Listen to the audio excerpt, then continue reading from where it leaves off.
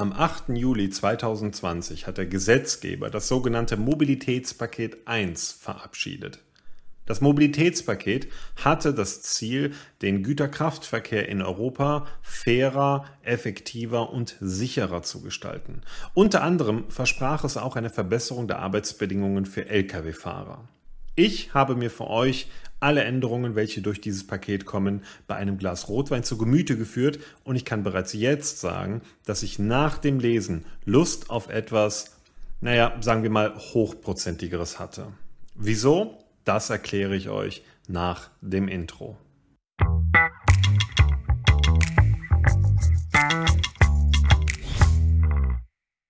Hallo zusammen und herzlich willkommen hier auf dem Logistikkanal. Mein Name ist Horst und wie bereits vor dem Intro angekündigt, schauen wir uns gemeinsam in diesem Video das vor kurzem beschlossene Mobilitätspaket an und beleuchten mal, was sich für Fahrer ab etwa Mitte August 2020 ändern wird.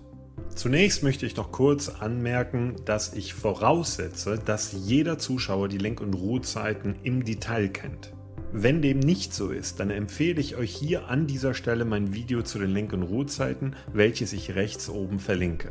Dort werden alle wichtigen Begriffe und Regelungen anschaulich erklärt. Bevor wir loslegen, möchte ich nur kurz erwähnen, dass ich in diesem Video nicht alle Änderungen des Mobilitätspakets aufführen kann, da es viel zu viel Stoff für ein einzelnes Video wäre. Daher beschränke ich mich in diesem ersten Video mal auf die Änderungen, die für das Fahrpersonal gegebenenfalls relevant sein können. Starten wir also mit den Änderungen, die für alle Fahrer, das heißt im Güter- sowie im Personenverkehr, gelten. Es ist nämlich nun klar geregelt, dass es Lkw-Fahrern verboten ist, die regelmäßige wöchentliche Ruhezeit in einem Lkw zu verbringen. Es gab im Jahr 2017 ja bereits ein BGH-Urteil, das dies untersagt hat. Daher ist diese Änderungen eher als Klarstellung zu verstehen und nicht unbedingt als Neuerung. Neu ist jedoch, dass fixiert wurde, dass der Unternehmer für die Kosten der Unterkunft aufkommen muss. Ich hatte jedoch gehofft, dass dies noch weiter spezifiziert werden würde, insbesondere was die Kontrollierbarkeit dieser Regelung angeht. Es ist nämlich so, dass der Fahrer nicht nachweisen muss, dass er die regelmäßige Wochenruhezeit beispielsweise in einem Hotel verbracht hat. Bisher ist es nämlich so, dass das BAG, also das Bundesamt für Güterverkehr, den Fahrer auf frischer Tat ertappen muss. Das bedeutet, die Kontrollbehörde muss den Fahrer dabei erwischen, wie er eine regelmäßige Wochenruhezeit im Lkw verbracht hat. Es reicht dabei dementsprechend nicht, den Fahrer an einem Sonntag zu kontrollieren, wenn er gerade 40 Stunden Wochenruhezeit abgesessen hat. Denn rein rechtlich handelt es sich bei einer Ruhezeit von 40 Stunden ja immer noch um eine verkürzte Ruhezeit, solange die nicht 45 Stunden überschreitet. Um also einen Fahrer bzw. Unternehmer nachzuweisen, dass er die regelmäßige Wochenruhezeit im Lkw verbracht hat, müsste man diesen exakt nach Ende der Wochenruhezeit von mindestens 45 Stunden dabei erwischen, wie er vom Rasthof fährt. Denn wenn ein Fahrer nach 44 Stunden und 59 Minuten den LKW wieder starten und lenken würde, handelt es sich rein rechtlich um eine verkürzte Ruhezeit und die darf weiterhin im Fahrzeug verbracht werden. Der Fahrer müsste also in der folgenden Woche eine regelmäßige Ruhezeit von 45 Stunden einlegen und eine Minute von der verkürzten Wochenruhezeit vorher nachholen.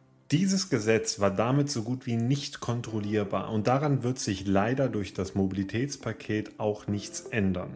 Meine Befürchtung ist dementsprechend, dass sich viele Unternehmer weiterhin nicht an diese Regelung halten werden. Das Mobilitätspaket bringt darüber hinaus eine Rückkehrpflicht für Lkw-Fahrer zu ihrem Wohnort bzw. der Betriebsstätte des Unternehmers, deren der Fahrer normalerweise zugeordnet ist. Im Klartext muss also jeder Fahrer spätestens alle vier Wochen zu seinem Wohnort oder zu der Betriebsstätte des Unternehmens zurückfahren, in der er normalerweise eingesetzt ist. So könnten theoretisch osteuropäische Firmen eine Niederlassung in Deutschland gründen und den ukrainischen Fahrer beispielsweise dort zuordnen. Laut diesem Gesetz wäre das theoretisch zulässig. Ich befürchte, dass genau das passieren wird und die Fahrer trotzdem monatelang ihr Zuhause nicht sehen. Besser wäre es definitiv gewesen, wenn der Fahrer zwingend alle vier Wochen zu seinem Wohnort zurückkehren müsste und nicht wahlweise zur Betriebsstätte. Es ist übrigens so, dass der Fahrer nicht persönlich nachweisen muss, dass er alle vier Wochen zu Hause bzw. in der Betriebsstätte war. Dies muss das Unternehmen des Fahrers dokumentieren. Das Problem daran ist nur, dass die Kontrollbehörden wie beispielsweise das BRG in Deutschland nicht die Unternehmen in Litauen oder sonst wo kontrollieren, sondern die Lkw und damit das Fahrpersonal, welches in Deutschland unterwegs ist. Wie kann also das BRG kontrollieren, ob die Regelung eingehalten wurde, wenn der Fahrer persönlich dies nicht nachweisen muss? Nun ja, das soll zukünftig der intelligente Tachograph regeln, der ja seit diesem Jahr in Neufahrzeugen verbaut werden muss. Beim intelligenten Tachographen ist nämlich ein GPS-Modul verbaut, das bei einem Grenzübertritt das Länderkennzeichen im Tachographen automatisch ändert. Bei den meisten derzeit eingesetzten Fahrzeugen ist jedoch der normale digitale Tachograph verbaut, der dieses Länderkennzeichen nicht automatisch ändert. Der Gesetzgeber hat dieses Problem übrigens erkannt und sich dazu etwas Spannendes ausgedacht. Demnach ist nun geregelt, dass jeder Lkw-Fahrer 18 Monate nach Inkrafttreten dieses Mobilitätspaketes, also in rund anderthalb Jahren, nach einem Grenzübertritt das einzufahrende Länderkennzeichen im digitalen Tachografen hinterlegen muss. Nun werden alle zuschauenden Fahrer wissen, dass man dies nur bei einem stehenden Fahrzeug machen kann. Daher sagt der Gesetzgeber, dass nach jeder Grenze die nächstgelegene Parkmöglichkeit genutzt werden muss, um das Länderkennzeichen im digitalen Tachografen zu ändern. Ehrlich gesagt habe ich jetzt schon Mitleid mit allen Fahrern, die versuchen werden, unmittelbar nach der Grenze einen Standplatz zu bekommen, wenn dort jeder halten will bzw. muss. Das wird unweigerlich wieder zu Staus an der Grenze führen, da der Verkehr nicht flüssig rollt, sondern LKWs nach der Grenze gezwungenermaßen anhalten müssen. Aber bis diese Regelung in Kraft tritt, vergehen ja jetzt erstmal gute 18 Monate. Vielleicht findet man bis dahin ja eine bessere Lösung. Ich hoffe es zumindest. Als nächste Änderung durch das Mobilitätspaket wird es verpflichtend, dass alle Fahrzeuge alle acht Wochen zu ihrem Heimatstaat, also den Staat, in dem sie angemeldet sind und dementsprechend auch Steuern zahlen, zurückkehren müssen. Und ja, ihr habt richtig gehört, ich rede über das Fahrzeug. Dies hat übrigens zu großem Gegenwind der osteuropäischen Logistikbranche geführt, da es gang und gäbe ist, die Lkw in Polen, Litauen oder sonst wo anzumelden, obwohl diese Lkw nur in Westeuropa unterwegs sind. Ich denke, das ist ein Grund dafür, warum dieses Mobilitätspaket jetzt über drei Jahre gebraucht hat, um schlussendlich verabschiedet zu werden. Wie dies kontrolliert werden soll ohne den intelligenten Tachographen, ist auch noch offen. Ich glaube allerdings, dass das zumindest dazu führen wird, dass diese Fahrzeuge in einem westeuropäischen Staat auch angemeldet werden und dort zumindest die Kfz-Steuern bezahlt werden. Was ja auch im Grunde genommen nur fair ist, denn die Fahrzeuge fahren ja fast nur ausschließlich in Westeuropa.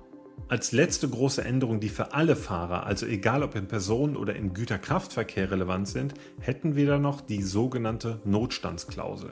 Diese erlaubt zukünftig einem Fahrer die Tageslenkzeit um bis zu zwei weitere Stunden zu verlängern, wenn er dadurch seinen Heimatstandort erreichen kann und seine wöchentliche Ruhezeit beginnt.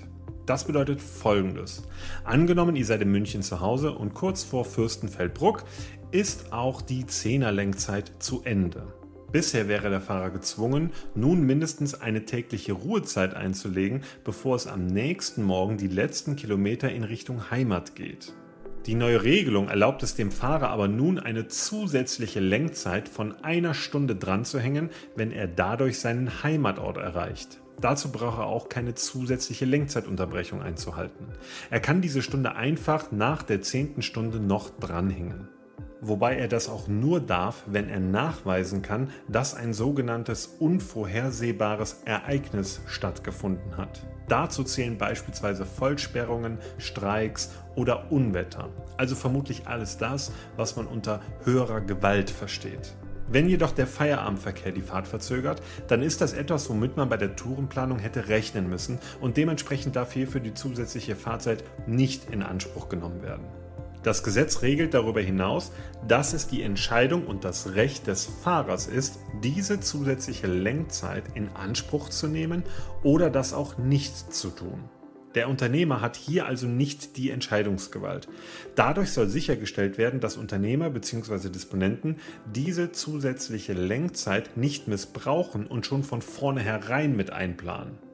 Ist der Fahrer jedoch beispielsweise noch vor Augsburg und benötigt somit mehr als eine Stunde Lenkzeit, um nach Hause, also nach München zu kommen, darf er auch zwei zusätzliche Stunden Lenkzeit in Anspruch nehmen, wobei er vorher noch einmal eine zusätzliche Lenkzeitunterbrechung von 30 Minuten einhalten muss.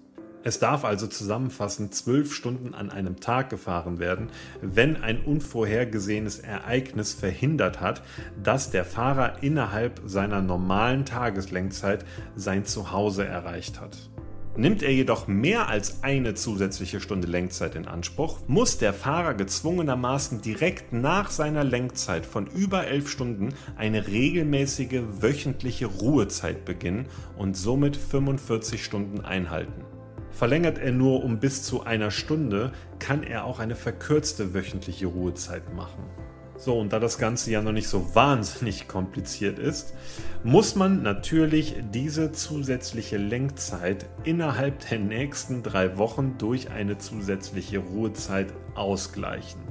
Das bedeutet, wenn der Lkw-Fahrer seine Lenkzeit um zwei Stunden an einem Freitag verlängert hat, um nach München, also nach Hause zu kommen, vielleicht weil er in einer Vollsperrung stand oder sowas, dann muss er diese zusätzlichen zwei Stunden innerhalb von drei Wochen durch eine zusätzliche Ruhezeit ausgleichen. Diese kann jedoch nach einer täglichen oder wöchentlichen Ruhezeit angehangen werden. Obwohl diese Regelung wieder extrem kompliziert geworden ist, ist es aber immerhin eine Option für Fernfahrer, die einfach nach einer oder mehreren Wochen im Fernverkehr verdientermaßen nach Hause möchten. Von daher gibt es von mir dafür auch einen Daumen nach oben. An dieser Stelle würde ich mir gerne wissen, was ihr zu den Neuerungen sagt. Haltet ihr sie für sinnvoll oder eher für viel zu kompliziert? Werdet ihr beispielsweise die zusätzliche Lenkzeit nutzen, wenn sie euch fehlt, um nach Hause zu kommen? Schreibt es mir gerne in den Kommentaren. Die folgende Änderung gilt nur für den grenzüberschreitenden Güterkraftverkehr. Das bedeutet, alle Fahrer im Personenverkehr und oder Lkw-Fahrer, die nur im Inland unterwegs sind, können sich jetzt also einen Kaffee holen.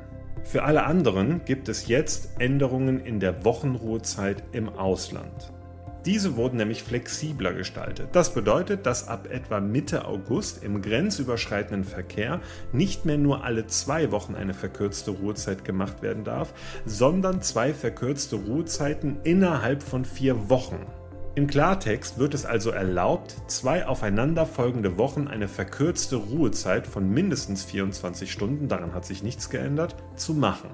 Sollte ein Fahrer zwei verkürzte Wochenruhezeiten hintereinander machen, müssen die Verkürzungen in der darauffolgenden Woche ausgeglichen werden. Lasst uns doch mal anschauen, wie das vonstatten gehen muss.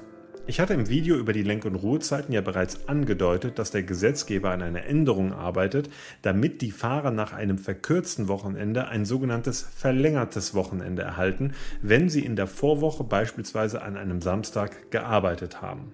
Dies wurde mit dem Mobilitätspaket jetzt so für alle Fahrer im internationalen Fernverkehr umgesetzt. Nicht aber jedoch für Fahrer, die die verkürzte Wochenruhezeit im Inland verbracht haben. Machen wir mal ein Beispiel. Nehmen wir mal an, der Fahrer hat in Woche 1 seine wöchentliche Ruhezeit um 10 Stunden und in Woche 2 um 14 Stunden verkürzt. Insgesamt muss er in der nächsten Woche also nicht nur die regelmäßige Ruhezeit von 45 Stunden, sondern darüber hinaus auch nochmal 24 Stunden aus den vorherigen zwei Wochen nachholen.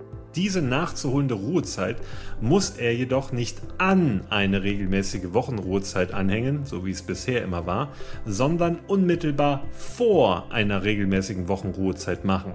In unserem Beispiel sollte er also bereits den Freitag vor der regelmäßigen Wochenruhezeit frei bekommen, damit er die verkürzte Zeit bereits nachholt, um im Anschluss am Samstag und Sonntag die regelmäßige Wochenruhezeit von 45 Stunden zu machen.